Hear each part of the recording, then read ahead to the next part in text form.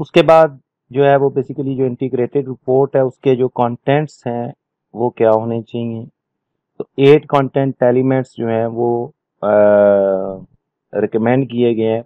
Organisational overview and external environment की। Organisation जो है वो क्या काम कर रही है उसका एक एक्सटर्नल एनवायरनमेंट जो है उसके आ, जो सप्लायर्स हैं या सोसाइटी है उसके अराउंड बाउट जो कंपेटिटर्स हैं वो उसके बारे में जो है वो एक ब्रीफिंग ब्रीफ ओवरव्यू देना। दूसरा जो कंटेंट है वो है गवर्नेंस कि ऑर्गेनाइजेशन का जो गवर्नेंस स्ट्रक्चर है वो क्या है? क्या वो कोड ऑफ़ कॉरपोरेट गवर्नेंस उसका अपना डिफाइंड है? या वो को, को किसी और return code of corporate governance जो है उसको फॉलो कर रही है? उसके बारे में एक briefing business model what is the organisation overall business model है? वो क्या कर रही है? किन एरियाज़ में काम कर रही है? बिज़नेस किन रिस्क एंड अपॉर्चुनिटीज़ क्या है उसकी? Strategy and resource allocation future के बारे में उसकी स्ट्रेटजीज क्या है और उसके पास जो रिसोर्सेज हैं, उसको उन्होंने कैसे एलोकेट किया हुआ है? परफॉर्मेंस बिज़नेस की जो है प्रीवियस ईयर्स के जो प्रॉफिट्स हैं या जो उसने अपने ऑब्जेक्टिव सेट किए थे, वो अचीव हो रहे हैं या नहीं हो रहे? Outlook what challenges and uncertainties the organisation likely to encounter in pursuing its strategy जो उसने स्ट्रेटजी डेवलप की है, उससे रिलेटेड जो रिस्क हैं, या अनसर्टेनिटीज हैं, वो क्या क्या हैं? Basis of preparation and presentation how does the organisation determine what matters to include the in the integrated report कि वो जो इंटीग्रेटेड रिपोर्ट में उन्होंने जो चीज़ें हाईलाइट की हैं, उसकी बेसिस के हैं? और उसको किस तरीके से प्रेजेंट किया गया है? वो भी जो है वो इंटीग्रेटेड रिपोर्ट में मेंशन करेंगे। अब उसके बाद आ गया management accounting is carried out to assist management in discharging their duties to plan अब मैनेजमेंट अकाउंटिंग का सबसे पहला काम क्या है? प्लान करना। Direct and control the operation of the business के बिज़नेस के ऑपरेशन जो हैं वो कैसे परफॉर्म किए जाएँगे और उन पे कंट्रोल जो है जो एक्चुअल रिजल्ट्स हैं, उनको बजट के साथ कंपेयर करना और उसकी बेस पे फीडबैक या फ़ीड फॉरवर्ड कंट्रोल देना, ये सारा काम जो है वो मैनेजमेंट अकाउंटिंग जो है वो असिस्ट कर रही होती है इसके लिए मैनेजमेंट को। It is concern with process of measuring analysing interpreting and communicating information to management in form which is easy for them to understand. वो ग्राफ ग्राफ्स की शक्ल में हो सकती है, वो डायग्राम की शक्ल में हो सकती है, वो बजट्स की आ, उसकी सॉरी पैरा रिपोर्ट्स की फॉर्म में हो सकती है। अब जो ऑर्गेनाइजेशन मैनेजमेंट अकाउंटिंग है वो तीन मेन काम कर रही है कॉस्ट स्केजुअल बना रही है बजट्स बना रही है और वेरियंस वेरियंस रिपोर्ट्स बना रही है। अब कॉस्ट कैजुअल के हैं कि कोई भी एक प्रोडक्ट है बेसिकली उस पर कॉस्ट मटेरियल कॉस्ट कितनी आएगी लेबर कॉस्ट कितनी आनी चाहिए उसको हम क्या कहते हैं वो एक स्टैंडर्ड कॉस्ट कार्ड है जो मैनेजमेंट अकाउंटिंग जो है वो प्रिपेयर करती है। और उस स्टैंडर्ड की बेस पे जो है वो हम लेटर ऑन जो है वो वेरिएंस एनालिसिस कर रहे होते हैं कि एक्चुअल रिजल्ट्स जो हैं वो स्टैंडर्ड से किस हद तक वेरी किए हैं। दूसरा काम जो है मैनेजमेंट का, अब वो कास्ट कॉस्ट को जो है वो बेसिकली किस पर्पज के लिए यूज़ हो सकता है, वो कास्ट स्टैंडर्ड कास्ट कार्ड जो है, वो है प्राइसिंग डिसीज़न के लिए कि कास्ट प्लस अगर हम अपना प्रॉफिट मार्जिन है वो उसमें ऐड करके तो प्राइस कितनी होनी चाहिए प्रोडक्ट की वो कैलकुलेट कर सकते हैं। ब्रेक इवन एनालिसिस है कि कितनी कास्ट जो है वो सॉरी uh, कितना हम प्रोडक्ट सेल करें कि नो प्रॉफिट नो लॉस हो। की फैक्टर एनालिसिस के कौन से वो की फैक्टर्स हैं जो हमारी सक्सेस में कंट्रीब्यूट करेंगे या वो कौन सी चीज़ें हैं जिनको हमने in house made in house करना है खुद से प्रोड्यूस करना है और कौन सी प्रोडक्ट आइटम्स हैं जो कि हमने आउटसोर्स करने हैं। बाहर से प्रोड्यूस करवाने हैं। इन्वेस्टमेंट अप्रेजल जो है, ये ऑलरेडी हम देख चुके हैं। ये भी बेसिकली मैनेजमेंट अकाउंटेंट का भी काम है और ट्रेजरी फ़ंक्शंस भी है। बजट्स जो हैं, वो बेसिकली फ्यूचर के लिए हम क्या करते हैं, आप बजट्स सेट करते हैं। अब बजट्स क्यों यूजफुल है? कोऑर्डिनेशन डिफरेंट जो एक्टिविटीज़ हैं फॉर एग्जांपल हमने यूनिट्स सोल्ड सेल्स का बजट बना लिया। अब ये किस पे डिपेंड करेगा? हम देखेंगे मार्केट में डिमांड कितनी है, उसकी बेस पे हम क्या करेंगे? अपना सेल्स बजट बना लेंगे। अब सेल्स की बजट की बेस पे हमने क्या करना है? अपना प्रोडक्शन बजट बनाना है। अब प्रोडक्शन बजट हम बनाएँगे तो हमें खाली सेल नहीं देखना। हमने ये भी देखना है कि हमें इन्वेंट्री कितनी रिक्वायर्ड है। तो अब जो यूनिट्स हम प्रोड्यूस करेंगे, वो सेल के लिए भी प्रोड्यूस करेंगे और इन्वेंट्री के लिए भी प्रोड्यूस करेंगे। तो अगर हमें सेल्स का बजट नहीं पता होगा तो हम प्रोडक्शन बजट प्रॉपर नहीं बना सकेंगे। अब अगर हमने प्रोडक्शन करनी है तो उसके लिए हमें मटेरियल चाहिए। अब मटेरियल के लिए हमें क्या चाहिए? मटेरियल परचेज करना है। तो परचेज बजट जो है, वो किस पे डिपेंड कर रहा है? प्रोडक्शन बजट पे। तो ये जो डिफरेंट एक्टिविटीज़ हैं। अगर हमने बजट प्रिपेयर किए हुए हैं तो इनके दरमियान एक रबत बन जाता है कोऑर्डिनेशन हो जाती है। रिस्पॉन्सिबिलिटीज अब जब बजट्स हम बनाते हैं तो हमने कहा कि हमने इतने यूनिट सेल करने हैं। तो जो सेल करने हैं, वो बेसिकली किसने करनी है? मार्केटिंग मैनेजर ने। तो जब बजट बन गया तो मार्केटिंग मैनेजर को अपनी रिस्पॉन्सिबिलिटी पता चल गई कि उसने कितने यूनिट्स सेल करने हैं। यूटिलाइजेशन अब हमने जो यूनिट्स प्रोड्यूस करने हैं, उसके लिए हमें मशीनरी यूज़ करनी है। तो मशीन वन जो है मशीन टू है, उसको कैसे यूटिलाइज करना है? अपने रिसोर्सेज को कैसे यूटिलाइज करना है? किस टाइम पे? कौन सी वर्कर जो है वो किस जगह पे काम कर रहा होगा कैश हमारी जो है वो किस तरह से यूटिलाइज होगी, ये सारी चीज़ें जो हैं, ये बजट की वजह से हमारे लिए इनकी यूटिलाइजेशन को डिफाइन करना जो है वो आसान हो जाता है। बजट्स जो हैं वो चूँकि टारगेट सेट कर देते हैं तो कोई भी एम्प्लॉय जब अपना टारगेट अचीव कर लेता है तो वो मोटिवेट हो जाता है। तो बजट जो है वो मोटिवेशन में बहुत इंपॉर्टेंट रोल प्ले कर रहे होती हैं। प्लानिंग बजट्स की बेस पे अब हमने सेल करनी है, उसके लिए प्रोडक्शन करनी है प्रोडक्शन के लिए हमने मटेरियल परचेज करना है। तो ये सारा जो प्रोसेस है, हम इसको प्रॉपरली प्लान कर सकते हैं कि हमें ये चीज़ें कहाँ कहाँ से मिलेंगी, कब कब हमने प्रोड्यूस करनी है। अब उसके बाद ये भी हो सकता है कि अगर हमने मटेरियल परचेज करना है तो हो सकता है मार्केट में मटेरियल शॉर्ट हो जाए। तो उसके लिए हमारे पास कोई अल्टरनेटिव प्लान होना चाहिए। अपॉर्चुनिटीज़ होनी चाहिए थ्रेट्स का हमें पता होना चाहिए, ये सारी चीज़ें जो है वो हम क्या करेंगे प्लान कर लेंगे इन एडवांस वैल्यूएशन अब हमने जो बजट बनाया, उसको हम एक्चुअल रिजल्ट्स के साथ कंपेयर करेंगे तो अपनी परफॉर्मेंस को हम एवेल्यूएट कर सकते हैं। अगर हमने बजट अचीव कर लिया तो इसका मतलब है वी आर परफॉर्मिंग गुड अगर बजट अचीव नहीं हुआ तो there is a poor performance उसके अलावा ये है कि बजट से जो है, वो सारे लोगों को पता होता है कि उनकी ड्यूटीज़ क्या हैं, वो प्रॉपरली कम्युनिकेट अगर हो जाए तो हर बंदे को उसकी ड्यूटीज़ के बारे में जो है वो वेल अवेयर होता है। अब उसके बाद जब बजट हमने प्रिपेयर कर लिए तो जो एक्चुअल रिजल्ट्स हैं, वो वेरी कर सकते हैं। तो उसके लिए हम क्या करते हैं? वेरिएंस रिपोर्ट्स बनाते हैं। वेरिएंस रिपोर्ट्स के अंदर एक रिपोर्ट होती है, जिसको हम कहेंगे एक्सेप्शनल रिपोर्ट या एक्सेप्शनल रिपोर्टिंग वो एरियाज़ जहाँ पे बहुत ज़्यादा वेरिएंस आया। यानी कि सेल हमने कहा था थाउज़ेंड यूनिट्स करेंगे लेकिन वो सिर्फ़ 400 यूनिट हम सेल कर सके। तो उसके लिए हम सेपरेट रिपोर्ट बनाते हैं जिसको आ, हम क्या कहेंगे? एक्सेप्शनल रिपोर्टिंग इस प्रोसेस को कहेंगे। वो एक एक्सेप्शनल रिपोर्ट है। अब जब वेरिएंस हम कैलकुलेट कर रहे हैं तो हम एक्चुअल रिजल्ट्स को बजट के साथ कंपेयर कर रहे हैं। तो this process is called control तो इससे हमें क्या फ़ायदा होता है कि हम वेरिएंस की बेस पे जो एडवर्स वेरिएंसेस हैं from occurring again in future के फ्यूचर में वो वेरिएंस ना आए तो जो जो लूप होल्स थे, जो वीकनेस थी, वो हम उसको कवर करते हैं और कोशिश करते हैं कि फ्यूचर में वेरिएंस ना आए। Repeat a favourable variance in future और अगर फेवरेबल है तो वो दोबारा से फेवरेबल आना चाहिए।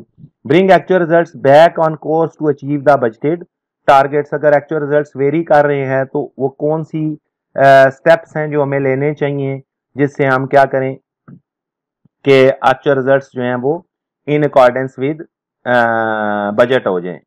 Management accounting and business policy and performance अब मैनेजमेंट अकाउंटिंग जो है वो बिज़नेस की पॉलिसी मेकिंग में कैसे हेल्प करती है? तो मैनेजमेंट इंफॉर्मेशन बेसिकली गैदर करती है और वो प्रोवाइड करती है और एक ओवरऑल जो पॉलिसी है उसको बनाने के लिए जितनी भी रिक्वायर्ड इंफॉर्मेशन है, वो मैनेजमेंट अकाउंटिंग प्रोवाइड करेगी। The accounting function can clearly contribute this process is the achievement of an organisation plan is usually measured in monetary terms accountants are needed to help establish objectives तो पहला काम ये है कि objective establish करने में management accountant help करता है और उन ऑब्जेक्टिव्स को अचीव करने में जो जो इवन फाइनेंशियल रिसोर्सेज पर्टिकुलरली अगर हम मॉनिटरी रिसोर्सेज की बात करें तो वो कैसे यूटिलाइज होंगे, उसके लिए मैनेजमेंट अकाउंटेंट जो है वो हेल्प कर रहा होता है।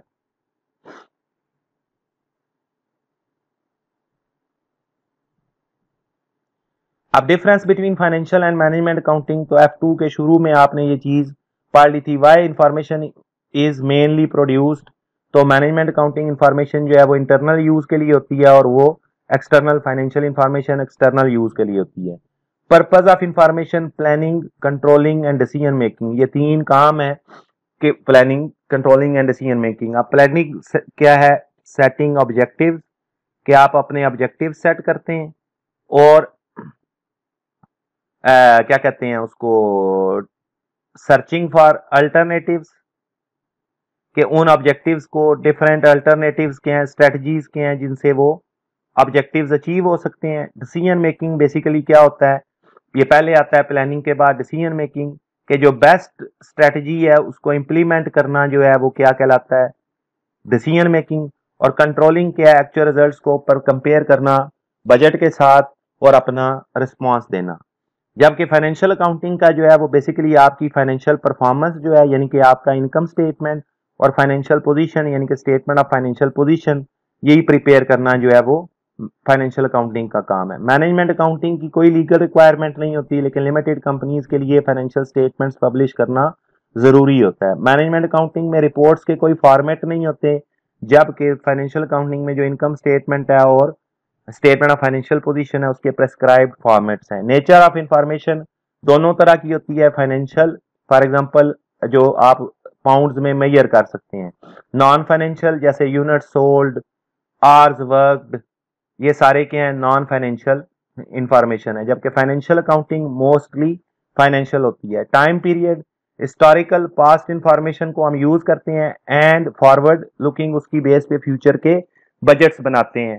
तो मैनेजमेंट अकाउंटिंग में जो बजट्स बन रहे हैं, वो फ्यूचर के लिए बन रहे हैं। जबकि income statement for the year उस साल की बनती है, जो गुजर चुका है।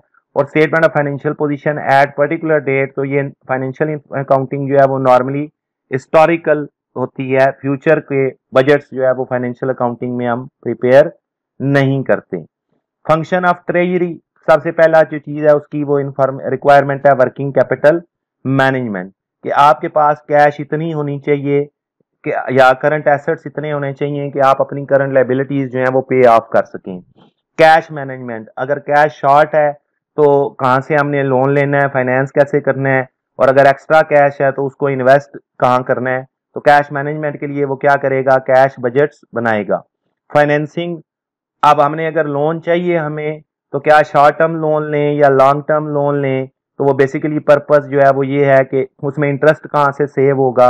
या हमें इन्वेस्टमेंट कहाँ पे करनी है? वो सारी चीज़ें ट्रेजरी डिपार्टमेंट देख रहा होगा ट्रेजर फॉरेन करेंसी अगर हम इम्पोर्ट कर रहे हैं तो उसके लिए हमें ज़ाहिर सी बात है डॉलर्स में पेमेंट करनी है। तो डॉलर का रेट आज ज़्यादा है, कम है, उसकी बेस पे कब डॉलर परचेज करना है हमने, कितने डॉलर्स परचेज करने हैं, ये भी ट्रेजरर का काम है। टैक्स टैक्स जो है वो हमने पे करना है तो उसके लिए जो हमें रिसोर्सेज चाहिए हैं, वो भी जो है वो कौन करेगा मैनेज करेगा ट्रेजरर मैनेज करेगा। अब मैनेजमेंट ऑफ़ वर्किंग कैपिटल तो वर्किंग कैपिटल बेसिकली जो है, वो क्या है आपका? कि आपने वर्किंग कैपिटल मैनेजमेंट बेसिकली क्या थी कि आप अपने current assets minus current liability सबसे पहली बात तो ये है कि वर्किंग कैपिटल है क्या? तो वर्किंग कैपिटल बेसिकली क्या है? Current assets minus current liabilities तो ये वर्किंग कैपिटल आ गया। अब अगर हमारे पास करंट एसेट्स कम हैं हम अपनी करंट लाइबिलिटीज पे ऑफ़ नहीं कर सकते तो कंपनी की जो लिक्विडिटी है, उसको अफेक्ट पड़ेगा। अब इसमें यह है कि वर्किंग कैपिटल मैनेजमेंट की बात करें तो उसमें सबसे पहली चीज़ है कि हमारे पास इन्वेंट्री कितनी होनी चाहिए। अब दो ऑप्शंस हैं, या तो हम इन्वेंट्री बहुत ज़्यादा रखें, या हम बहुत कम रखें। ज़्यादा रखेंगे तो हमारे पास ये होगा कि किसी भी टाइम पे हमारे पास कस्टमर आता है तो उसकी डिमांड को पूरा करना हमारे लिए प्रॉब्लम नहीं होगी। लेकिन अगर हम ज़्यादा इन्वेंट्री रखेंगे तो उसका डिसएडवांटेज ये होगा कि होल्डिंग कॉस्ट बढ़ जाएगी। थेफ्ट के चांसेस बढ़ जाएँगे। वेयर एंड टेयर इंक्रीज हो जाएगा। और अगर हम स्मॉल इन्वेंट्री रखते हैं तो होल्डिंग कॉस्ट कम हो जाएगी ऑब्सिलेंस कम हो जाएगी, लेकिन देर इज़ अ चांस कि हमारे पास इन्वेंट्री शॉर्टेज हो जाए स्टॉक आउट हो जाए। उसकी वजह से हमारा कस्टमर जो है वो हम लूज कर सकते हैं। ट्रेड रिसीवेबल अगर हम कस्टमर को लेंथी क्रेडिट देते हैं लंबे अरसे का क्रेडिट देते हैं तो कस्टमर खुश होगा। लेकिन हमारे लिए प्रॉब्लम क्या हो जाएगी? इरिकवरेबल डेट्स के चांस बढ़ जाएँगे क्योंकि जितना पुराना लोन होता जाएगा वो आ, उसके डूबने के चांसेस ज़्यादा हो जाएँगे। कैश का ज़्यादा बैलेंस होगा तो क्रेडिटर्स को पे करना हमारे लिए आसान हो जाएगा। लेकिन वो कैश जो हमारे पास पड़ी हुई है उसको हम कहीं और अगर इन्वेस्ट करते तो हम क्या कर सकते थे? उससे इंटरेस्ट अर्न कर सकते थे। वो हम लूज कर देंगे। और अगर हम कम कैश रखते हैं तो क्रेडिटर्स को पे करना प्रॉब्लम हो जाएगा, लेकिन हम इंटरेस्ट अर्न कर सकेंगे। ट्रेड पेबल्स जितने ज़्यादा होंगे, उससे हमारी जो अपनी कैश है, वो हम सेव कर लेंगे। लेकिन अगर कम होंगे तो जो नया सप्लायर है, वो हमें देखेगा कि ऑलरेडी ट्रेड पेबल्स इनके कितने हैं। अगर ट्रेड पेबल्स कम है तो वो हमें लोन देने के लिए इजीली तैयार हो जाएगा। अब valuating and obtaining finance treasure का जो काम है कि अगर हमें पैसा चाहिए है, हम पहले बात कर चुके हैं कि assets is equal to equity plus liability या डेट तो हमें फाइनेंस चाहिए तो क्या हम डेट लें या शेयर्स इशू करें? ठीक है? The main advantages of raising cash through debt अगर हम डेट के थ्रू करते हैं तो interest payments are allowable against tax interest को हम एज एन एक्सपेंस ट्रीट कर सकते हैं तो उससे हमारा जो टैक्स है, वो सेव हो जाएगा, क्योंकि हमारा प्रॉफिट कम हो जाएगा। लेकिन डिविडेंड्स अगर हम शेयर्स इशू करते हैं तो डिविडेंड्स जो हम पे करेंगे, वो टैक्स पर्पज के लिए अलाउेबल एक्सपेंस नहीं है। Raising debt finance does not change the ownership the organisation तो नए ऑर्गेनाइजेशन के ओनर्स नहीं बनेंगे तो जो पुराने ओनर्स हैं, वो नॉर्मली ये चाहते हैं कि नए ओनर्स ना बने, उनकी जो पावर है, उस पर फ़र्क ना पड़े। Debt tends to be cheaper to service than equity यानी कि डेट को मैनेज करना जो है, वो इक्विटी के मुकाबले में आसान होता है, क्योंकि इक्विटी के बारे में हर साल annual general meeting share holders को बुलाना, उनका डिविडेंड डिसाइड करना, जबकि डेट के बारे में नॉर्मली ये होता है कि वो बैंक खुद से मैनेज कर रहा होता है। So as it often secured against the assets of the company and takes priority over equity in the event of the business being liquidated. तो अब शेयर होल्डर्स को क्या पे करना है वो बेसिकली रेजिजुअल अमाउंट होती है इसलिए उसको डिफाइन uh, करना जो है कि कितनी पेमेंट करनी है शेयर होल्डर्स को वो कैलकुलेट करना मुश्किल होता है जबकि डेट जो है वो नॉर्मली सिक्योर होता है तो कितना पे करना है वो इजीली कैलकुलेटेबल होता है और उसका इंटरेस्ट भी जो है वो हम आसानी से कैलकुलेट कर सकते हैं। लेकिन on the other hand equity अगर हम शेयर्स के थ्रू जो है वो फाइनेंस रेज करते हैं तो उसमें भी कुछ एडवांटेजेस हैं। There is no minimum level of dividend that must be paid to share holders क्योंकि शेयर होल्डर्स को वही मिलेगा जो profit after interest and tax है। तो अगर किसी साल में प्रॉफिट कम होता है तो डिविडेंड भी कम देना पड़ेगा, लेकिन इंटरेस्ट पेमेंट जो होती है, वो मस्ट होती है। Bank will normally require security on the company's asset before it will offer a loan लेकिन शेयर होल्डर्स जो है, वो कोई सिक्योरिटी नहीं मांगते क्योंकि वो खुद से ओनर्स हैं। तो अगर लोन लेना है तो उसके लिए हमें नॉर्मली एसेट्स वगैरह जो होते हैं, वो प्लेज करवाने पड़ते हैं।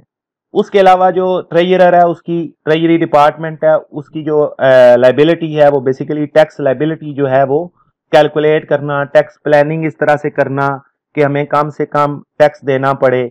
उसमें फिर दो चीज़ें थी हमारी टैक्स अवॉइडेंस के जो लॉ है, उसको यूज़ करते हुए by using legal require by using law और terms of law